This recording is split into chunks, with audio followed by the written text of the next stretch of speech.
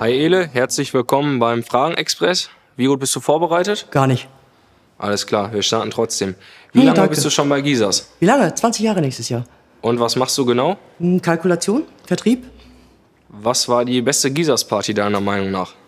2,9. Beherrschst du ein Musikinstrument? Nee. Was war deine größte Fehlinvestition? Ah, mal irgendeinen Hosenanzug.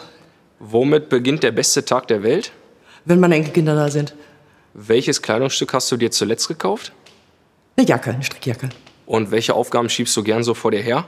Boah, die doofen, so Knüsselarbeiten, ja. Und wenn du Nutella auf dem Brot isst, lieber mit oder ohne Butter? Mit.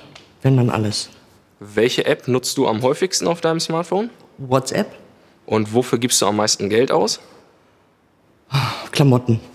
Und auf der Weihnachtsfeier bist du da eher so die Tänzerin oder die Sängerin? Hey, er die Tänzerin. Solange es die Hüfte zulässt. Gehst du lieber ins Kino oder guckst du äh, lieber im TV? ah, lieber TV. Bist du eher chaotisch oder ordentlich? Ordentlich. Und stell dir vor, du bist die Königin von Deutschland. Was würdest du dann machen? Ah, ein bisschen ändern in der Welt. Also zumindest in Deutschland erstmal. Bist du eher so der Schokoladen- oder Chips-Typ? Schokolade. Sieht man doch. Und äh, guck mal richtig sauer? Reicht? Geht nicht. Bin ich ganz selten. Danke. Gerne.